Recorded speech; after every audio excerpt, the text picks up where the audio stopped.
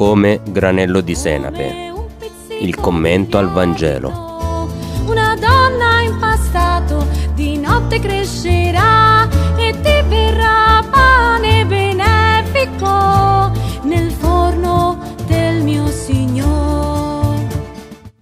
Sia lodato Gesù Cristo. Carissimi fratelli e sorelle, ascoltiamo il brano del Vangelo di Marco nella terza domenica del tempo ordinario.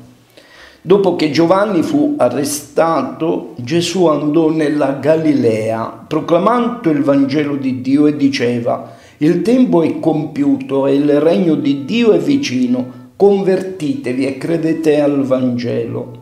Passando lungo il mare di Galilea, vide Simone e Andrea, fratello di Simone, mentre gettavano le reti in mare. Erano infatti pescatori. Gesù disse loro, venite dietro a me, vi farò diventare pescatore di uomini. E subito lasciarono le reti e lo seguirono. Andando un poco oltre, vide Giacomo, figlio di Zebedeo, e Giovanni, suo fratello, mentre anch'essi nella barca riparavano le reti e subito li chiamò. Ed essi lasciarono il loro padre Zebedeo nella barca con i garzoni e andarono dietro a lui. Cari fratelli e care sorelle, eh, questo brano del Vangelo di Marco ci presenta l'inizio della vita pubblica di Gesù dopo averci descritto il battesimo che Gesù aveva ricevuto da Giovanni Battista presso il fiume Giordano, adesso vediamo che Gesù si sposta e va propriamente al nord della Palestina, nella regione della Galilea, che diventa così la culla del Vangelo. E Marco eh, sintetizza quanto Gesù diceva nella sua predicazione. Mi sembra abbastanza interessante conoscere quale fosse il contenuto della predicazione di Gesù durante la sua vita pubblica. Ce la descrive in quattro brevissimi versetti c'è eh, la rivelazione innanzitutto da parte di Dio nei primi due versetti e poi seguono altri due versetti che costituiscono la decisione da parte dell'uomo e quindi l'impegno, la risposta che dobbiamo dare noi. Innanzitutto, il tempo è compiuto, il regno di Dio è vicino. Ecco, ciò che discende, ciò che Dio rivela a ciascuno di noi. Gesù annunzia che questo è il kairos, il tempo di Dio, è la circostanza favorevole, il momento cioè della grazia, l'opportunità che Dio dà a me, a te, a ciascuno di noi. E quindi questo regno di Dio che si fa vicino, la presenza di Dio. Adesso, oggi, qui, Dio si fa incontrare. A questa rivelazione di Dio segue la risposta, segue la decisione da parte nostra. Convertitevi, dice Gesù, e credete al Vangelo.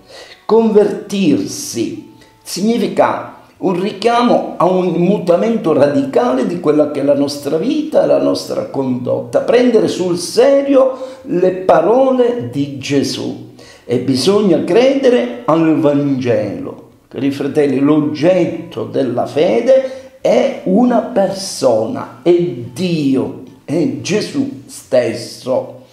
E dobbiamo essere quindi credenti nel Vangelo Prendiamo sul serio questa notizia. Quante notizie noi ascoltiamo durante le nostre giornate, durante la nostra vita, ma c'è una notizia che ci dovrebbe veramente sconvolgere. Lasciamoci sconvolgere dalla notizia. È il Vangelo di Gesù. Gesù che cammina per le strade della mia esistenza, mi viene incontro e mi invita a prendere coscienza di questa sua reale presenza. Il momento decisivo diventa allora quello in cui io decido se la cosa veramente mi interessa oppure no. E c'è poi la seconda parte brevissima di questo Vangelo dove troviamo la chiamata dei primi quattro discepoli. Eh, troviamo questo Dio che ha tanta voglia di condividere con noi il bene. Infatti non esiste gioia più grande di fare il bene. E Gesù chiama quindi alcuni qui eh, pescatori, due coppie di fratelli, Andrea e Simon Pietro da una parte e poi Giacomo e Giovanni, gli altri due fratelli, per la sequela. Chiama alcuni pescatori della Galilea perché stiano con lui, perché credano nella sua persona, perché poi ne portino anche l'annuncio Vedete anche qui come Gesù ci vuole coinvolgere, come Gesù ci vuole, eh, ci vuole rendere responsabili di questo annunzio, per farci gustare la gioia del bene. Dio chiama per dare. Non pensiamo che Dio eh, pretenda quasi in una maniera egoistica per sé Dio è altruista, Dio vuole rendere partecipi noi della sua gioia, della sua pienezza e della sua grazia. E Gesù qui vediamo che sceglie alcuni pescatori. Come in altri momenti vedremo che chiamerà eh, l'esattore Levi, chiederà ad ognuno di lasciare tutto. Perché? Perché soltanto chi è povero e che si fa povero ha un cuore capace e pronto per accogliere Dio, per arricchirci nella nostra esistenza. Non ci può essere posto in un cuore certamente arrogante.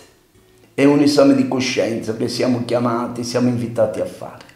Ma notiamo anche un altro particolare. Dove comincia Gesù la sua predicazione, al nord della Palestina, propriamente nella Galilea, dicevo la culla del Vangelo, non la Giudea, neppure Gerusalemme con centro religioso, un centro culturale, un centro ricco da un punto di vista anche commerciale. Gesù comincia dalla parte settentrionale della Palestina, separata anche politicamente dalla Giudea a partire dalla morte del re Erode il Grande nel 4 avanti Cristo. Eh, questa regione risente certamente dell'influsso ellenistico perché vi abitavano sia ebrei sia pagani insieme abitavano. Anche l'appuntamento con il risorto, ci ricorderemo quanto Gesù appare da risorto agli apostoli, li invita ad andare in Galilea, là mi vedrete. E dalla Galilea poi comincia il mandato per i cristiani, per gli apostoli. Andate in tutto il mondo e battezzate il Vangelo. Troviamo qui una, eh, uno schema della chiamata tipo, ci sono le componenti della chiamata, ci sono le componenti della risposta, c'è lo sguardo intanto e l'iniziativa e l'urgenza da parte di Gesù e segue la risposta nelle sue componenti con la fede, con il distacco, con la sequela e il lasciarsi fare. Io penso che ognuno di noi è invitato a riflettere, a confrontarsi con questi elementi della chiamata, lo sguardo, l'iniziativa e l'urgenza di Gesù alla sua sequela perché è la componente di ogni vocazione cristiana, alla vita cristiana intanto e poi alle singole vocazioni specifiche e quelle componenti che richiedono la nostra risposta. Concludendo, eh, vorrei che ci convincessimo di una cosa, sia nel momento, dicevamo poc'anzi, dell'oggetto della predicazione di Gesù, sia negli elementi di questa chiamata, abbiamo una consapevolezza. Dio mi cerca, mi chiama nella mia quotidianità. Eh, qui richiamo ancora una volta Papa Francesco, no? come ci invita a imitare questo Gesù che va eh, non nei luoghi sacri, ma per le strade, per le periferie, per le strade polverose della Palestina, per essere anche noi quindi una chiesa in periferia, una chiesa in strada. Non manca, cari fratelli, la chiamata, convinciamocene, manca forse la risposta. Dio ci ha dato il tempo per farne una eternità. Viviamo con maggiore consapevolezza, prendiamo coscienza di noi e della propria storia.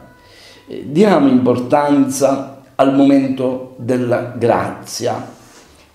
Impariamo come il tempo è qualcosa di prezioso e questo tempo va vissuto alla luce di Cristo.